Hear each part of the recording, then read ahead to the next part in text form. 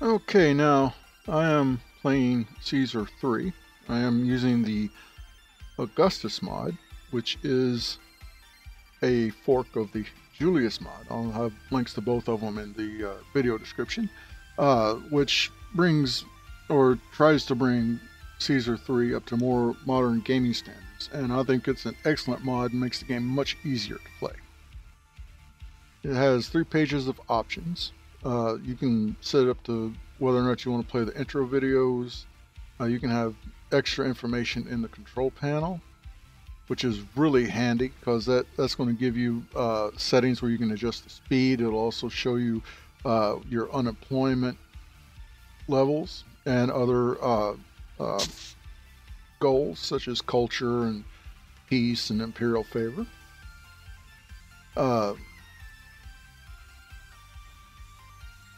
Actually not sure what draw walker waypoints does, but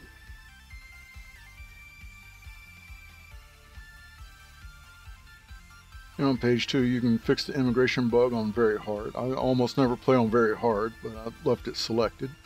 You can also fix 100 year old ghosts so that uh, there, there's a, a, glitch in the game, in the base game, where once people reach 100 years old, they, they obviously have died, but they are still listed as being part of your city and taking up uh, population spots.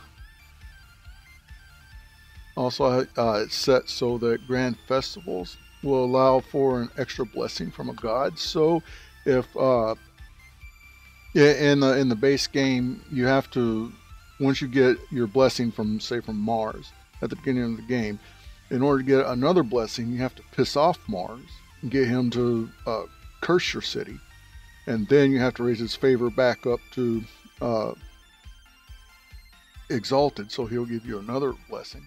This setting just makes it so that you don't have to go through that mess.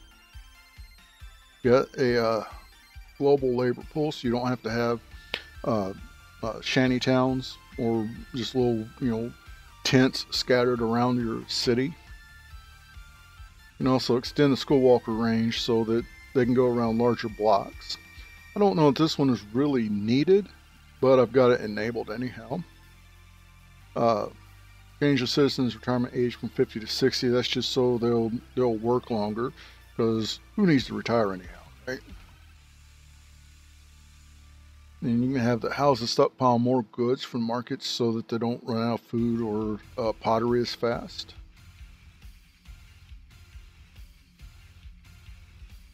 Immediately destroy buildings. So once you mark a building for destruction, it just goes away rather than you having to wait for uh, a few seconds. Just for the really impatient. And then you've got the setting where cart pushers from getting granaries can go off road, just like uh, cart pushers from uh, uh, warehouses that are set to get a certain good can go off road. Now, this will allow the uh, granaries cart pushers to do the same. So if a granary isn't necessarily connected to your wheat farms, it could still send a carter out to get the wheat.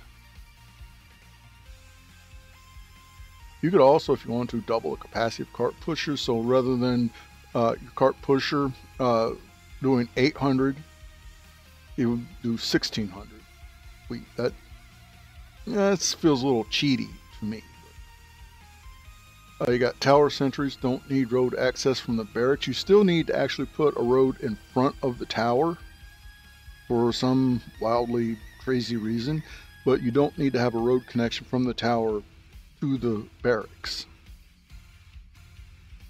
And that way also you don't need excess roads and you don't have to again have shanty towns near your uh, near your towers.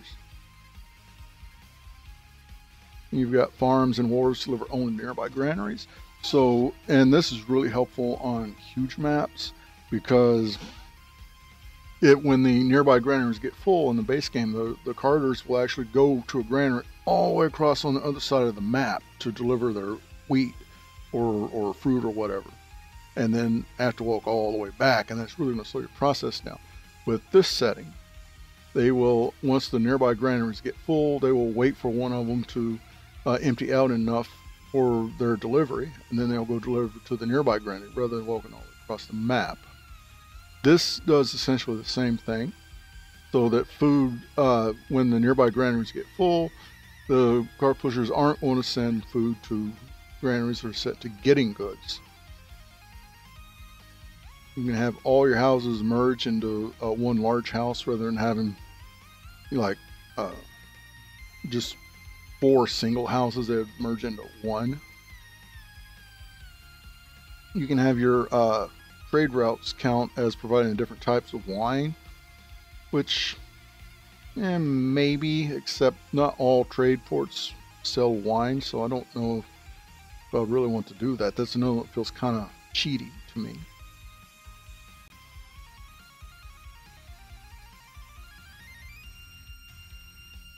Not too sure what that one does because I don't know what collapsing clay pits and iron mines cost before, to be honest.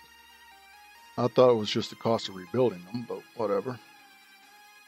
And then you can allow building multiple barracks, so you can build. You don't have to use the uh, the exploit where you build your two barracks and then you get the road connection. Here with this setting, you can just build them, and you can build more than two if you want. And of course, you've got hotkeys, which is great because that lets you set it up so you can use your WASD keys to navigate the map rather than having to click and drag all the time or allowing your pointer going to the edge of the screen. Otherwise, I haven't really changed any of the hotkeys.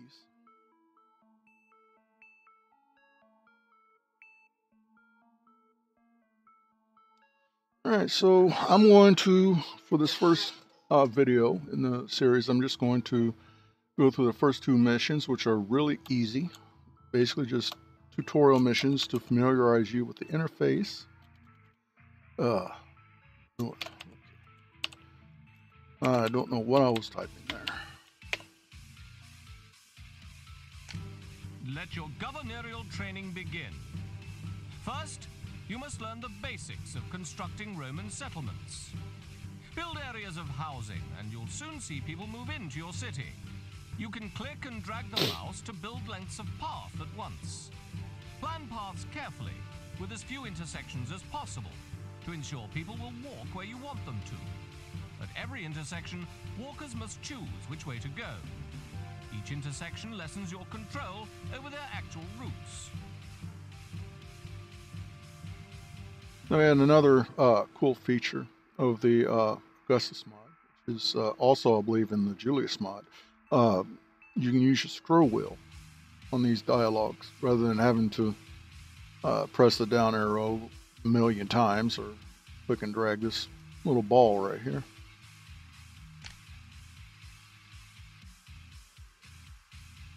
Of course, we've got all these neat new features in the game, and I barely use them because uh, I'm not used to them. Another uh, neat feature is when you have a dialogue up, you can right click on it to get rid of it so you don't have to always try to click on this little arrow down here. Something I'm still getting used to. Now, when I start this, I usually, because I've played it so many times, I can just set it on 100%. With this mod, you can actually go up to 500% speed, which is just ridiculous. Alright, so start out by clearing an area for my houses.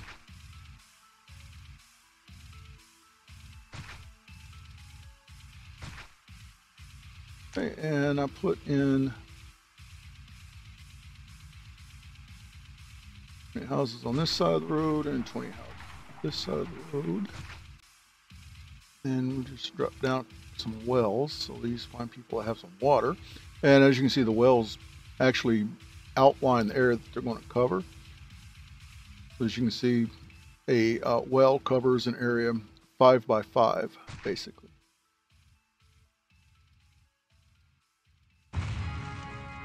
Oops, and there we've had our first fire, and I don't even have all my wells built yet. I am slacking. Let's put up the prefecture. There. Got the road right there so he doesn't walk too far.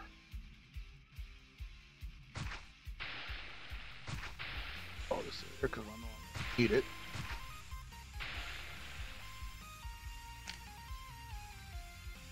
get a collapse here in just a moment.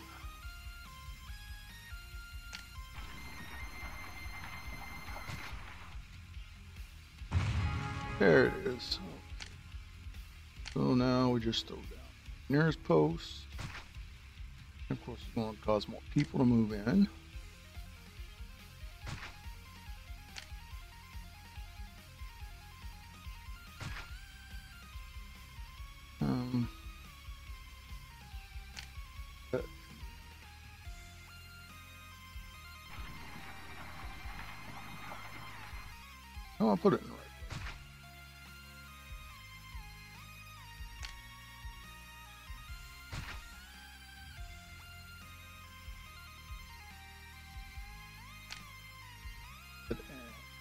Senate.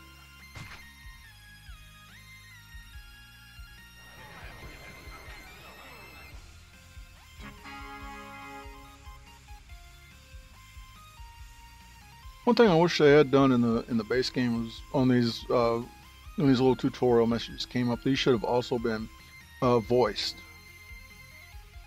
But now we can start building our temples and win. Don't even have to build all of them, although in the Augustus mod it gives you an option. You can click on all, and that will actually let you build all of the, and you even have to build any of them, but that lets you build all of the temples in sequence. So uh, you don't have to constantly move back and forth clicking the thing. It just helps uh, prevent you from getting uh, pains in your wrist from moving your mouse too much. Accept the promotion. Congratulations! You have grasped the basics to my satisfaction. In the interest of advancing your education, I have one more gentle assignment for you. Onward to Brundisium. Your priorities should be security, housing, food, and water in that order. Without housing and food, new immigrants will not move into your city. Rome now wishes your city to grow food. Build a farm on fertile land. Look for the yellow tufts that indicate this.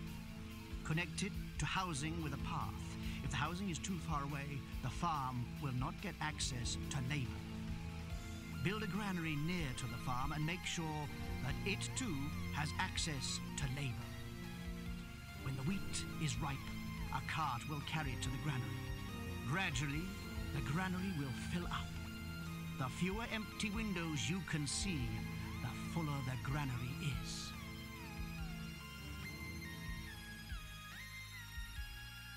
I don't know why this last part wasn't voiced, but it's basically just explaining about building markets and market ladies, how they work. Okay. Well, now on this map, I want to go ahead and just for the start, I'm going to slow it down a little bit.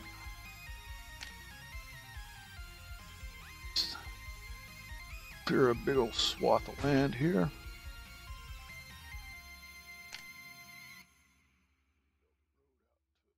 Here.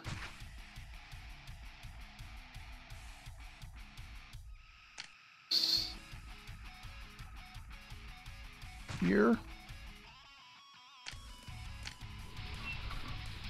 That. So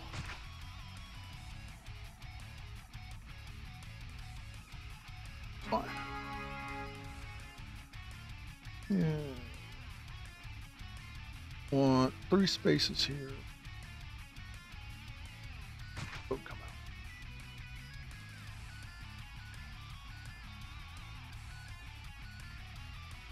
out. And I am a big fan of the 9x9 block on these grassland maps because it works very well.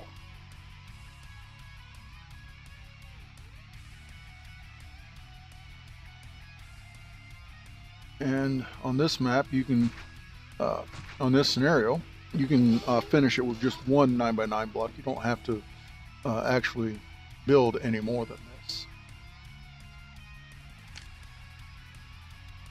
houses in. Prefecture. There there.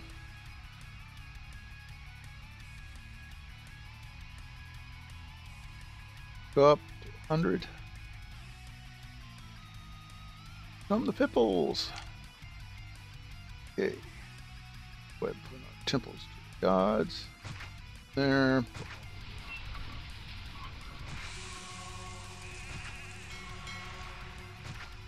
Go.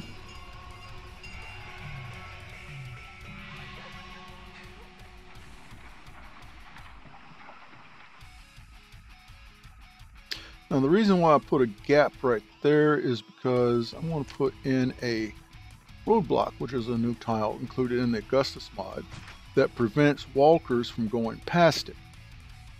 So since I have the global uh, labor pool turned on, the granary can still get employees.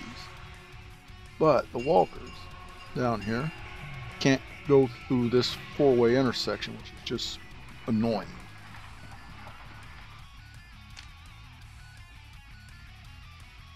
Okay, where am I? I got seven unemployed, so let's go ahead and put in houses.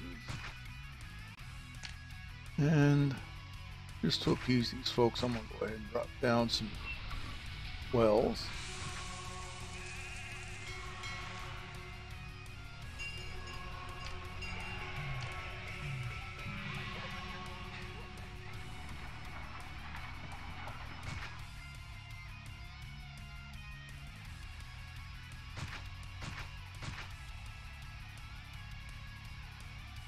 Here. I want to go ahead. Farms. They're going to need their own prefecture. And a post.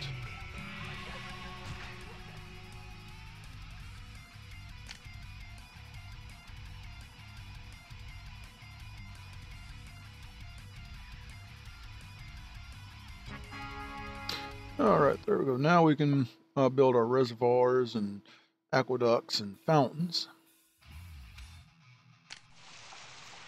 Allow us to have even more people. For our first reservoir, we there. And that's why I drew the road out right there because I wanted to make sure that even though they could walk around here because it's not it's eventually going to be closed up over here and it might block the road to Rome which would cause problems. Okay all the gods are happy. That's nice. Drop in the Senate just to look up a bit employment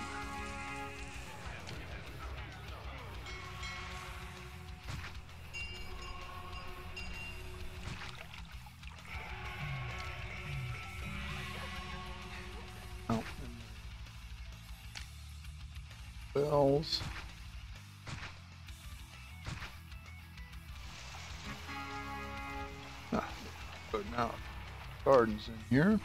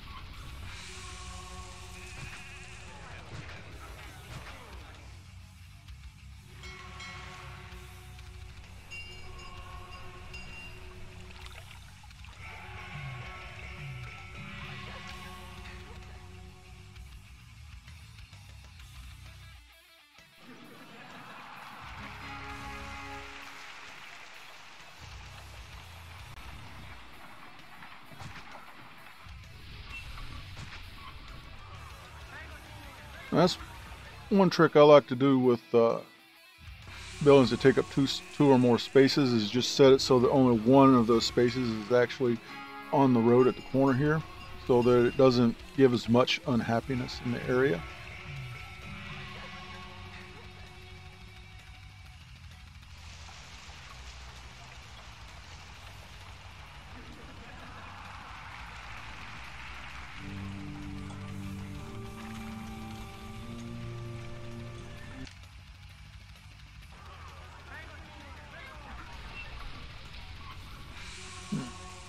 Much unemployment.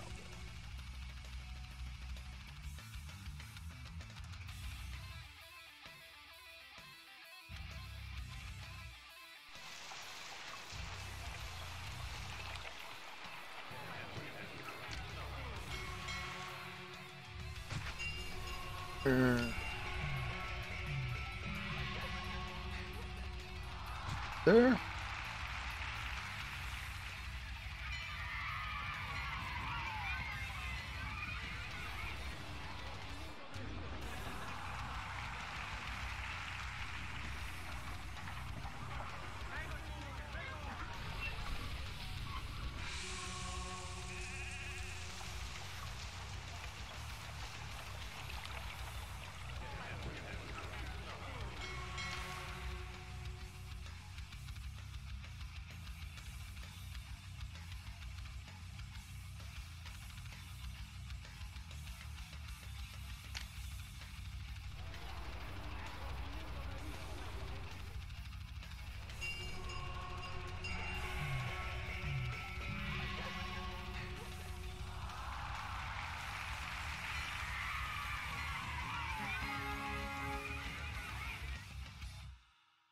Now I can build a pottery industry.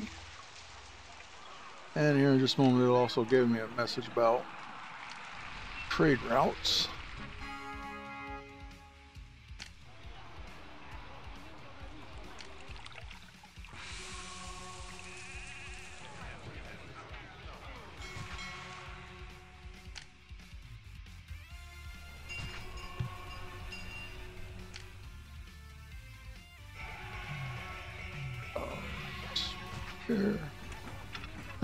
Another cool, really cool feature about this, uh, you can actually tell it who you want to be able to collect stuff from warehouse.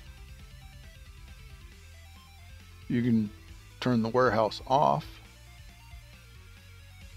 And you can also, in here, uh, the most important button is this one right here. It sets everything to not accepting.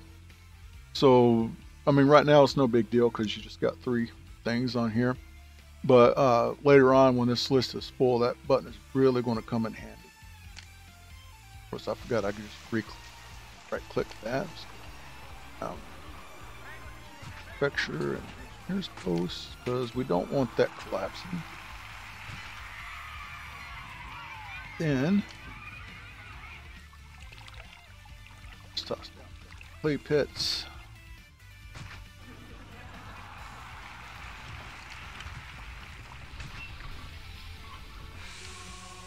And then a couple of shops.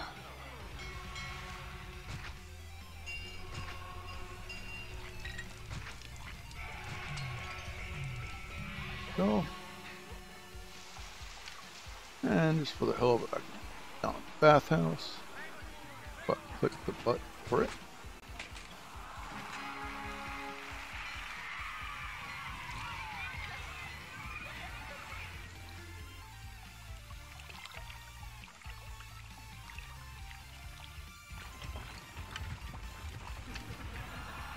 If you run short of employees, you can just one of these farms down here because you really only need four of them.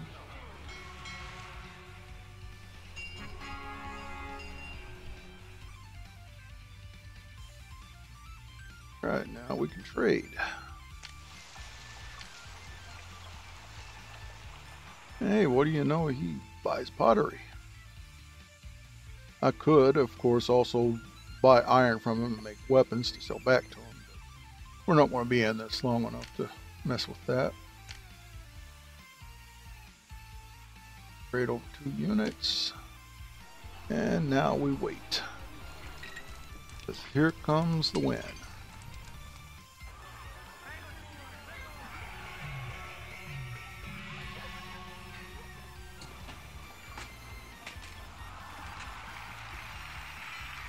There we go. You know, the first two levels are very easy. It, as I mentioned earlier, they're really just tutorial missions meant to get you familiar with the interface and basic city building. Make sure you know you've got to build your houses. Of course, you've got to supply water, you've got to supply food, and you've got to watch out for your uh, the happiness of the gods and You got to keep people employed because employed people are happy people. You learn quickly. You now have the skills to complete a real assignment. From now on, you can choose your career's direction. Take the more peaceful province to concentrate on governing, or the more dangerous one to confront Rome's enemies.